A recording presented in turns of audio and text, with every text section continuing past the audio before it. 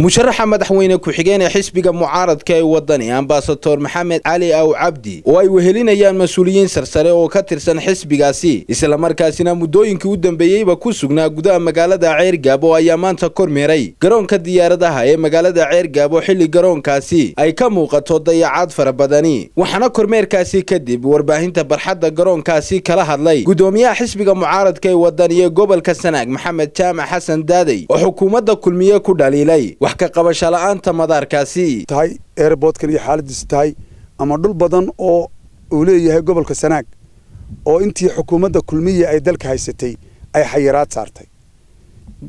Airboodkani wuu shaqaynayey casrigii ay xukuumadda udub ay haysatay dalka. Ilaa intii uu kulmiya qabsaday airboodkan laba diyaaradood baa soo fadhiistay waxaa ku xoolaha lagu xereeyey oo wuxuu noqday airbood laga guuray. Dayac badan baa ka muuqda. Sheegaya inuu airboodka kani noqon doono airbood caalamiya oo ay diyaaradaha adduunka soo fadhiistaan. Sidoo kalena waxaa halkaasi hadalka isaga kala dambeeyey mas'uuliyiin ka tirsan hoggaanka sare ee xisbiga mucaaradka ee waddani islamarkaasina xukuumadda talada haysa dhaliilo kala duwan u soo jeediyey dhibaatada ka jirta airboodka runtii airboodkani wuxuu xidhnaa ilaa muddo lix sannadooda marka dalku ka shaqaynayay inay tahay maanta meeshaa baaba ah waxaanu cambaaraynaynaa xukuumadda kulmiye inay ku kacdo falalka aadka iyo aadka u xun ee dadka iyo dalkaba ku dhibaato ah waxaan kaloo idiin sheegayaa xilligii ay dowladda riyaale joogtay diyaaradaha iman jiray hay'adaha oo dhan baa iman jiray. Halkaa inaga dambaysaa waxa weeye halkii madaarka ay shaqaaluhu ku shaqaynayeen doofaar baa ku dhintay aybaa u hoyata arigaa lagu xereeya arrimaha noocaasina waxay dowladnimada ku yihiin bahdil.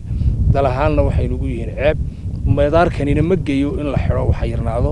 Waxaanu soo jeedinaynaa oo mustaqbalka anagu qorshuu yahay in madaarkana noqdo madaar caalamiya. Jeedatan cidladii lagaga dhaqaaqay. Taa sanaag waxay kaga sii daran tahay ay kaga sii nasiib daran tahay iyada deerna laguma soo wareejin waxbalaan laguma soo wareejiyin waxaanaanu anaku ballan qaadaynaa oo maxaa ahayd musharax ku-xigeenkiina uu maanta uu markhaati ka yahay guddoomiyuhuna maxaa ahayd oo musharax ayagiia uu isaguna ballan qaadi doonaa. Marka aanu ku fadhiisno kursiga insha allah bidmillaahi kariim uu ilaahay nagu guuliyo guusha ayna siiyo.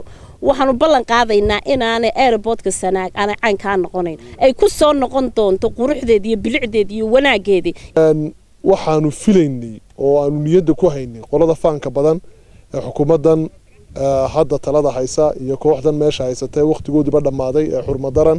Markaanu xurmadaran leenahay de waa waa waa waxa kani weeyaan. Waxaanu ballan qaadaynaa dib u dhaca maamulka iyo ay maamulka hadda joogaa sameeyeen inaanu kaayaga wadani samayn doonin insha allah biidni illahi tacaala maxamed maxamuud siilaanyo wakhtigii uu wax doonayay waxay ahayd waxbaan qabanayaa. Iyo somalilan mujaahid baan ka ahaayo anaa u soo halgamay.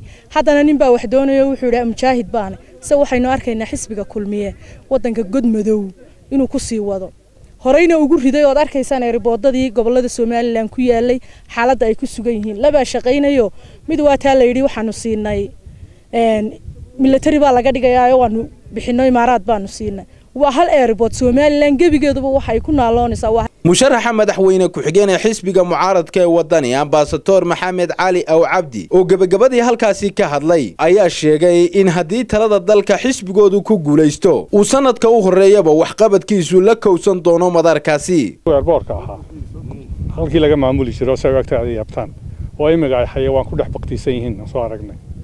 Waxaa kaloo markhaati maragma doontaa dadkii ka dhoofay oo la taliyaha arrimaha dibadda ee guddoomiyaha xisbiga faadimo sicid ay joogto oo maryani ag joogto oo ay ka dhoofeen oy lix sano ka hor eerboorkani shaqayn jiray ka dhoofi jireen. Haddaba waxaa mushkiladdu tahay oo isweydiin leh toddoba sano ka hor eerboor shaqaynayey maxaasan u galay? Inay wax ku darsamaan bay ahayd waxaanase laakiin la aanan aad loo sii yaabaynin eerboorka boorama toddobiyo sagaashankii baan ka soo degay oo diyaaradan kaga degay.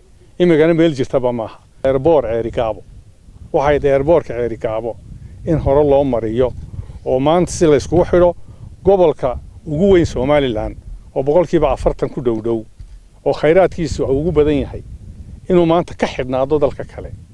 Waa nasiib daro. Waxaan anagu ballan qaadanaa xisbi ahaan maalintaanu fadhiisanno kursiga ilaa idankan waanu fadhiisan doonaaye inaannu eerboorkan iyo wax alla wixii kale ee gobolka waayeenba inaannu soo celin doonno oo ilaahay idankii sanad dabadeed bishaa bisheeda aanu soo mari doonno isagoo eerboor aanu ka soo degi doonno haddii ilaahay idhaaho si kastaba ha ahaatee garoonka diyaaradaha ee magaalada ceergaabo ayaa waxaa ka muuqda dayacaad fara badan iyadoo aanay jirin xayndaab xadaynaya xadka garoonkaasi. Cabdiraxmaan axmed ilsar star t v magaalada ceergaabo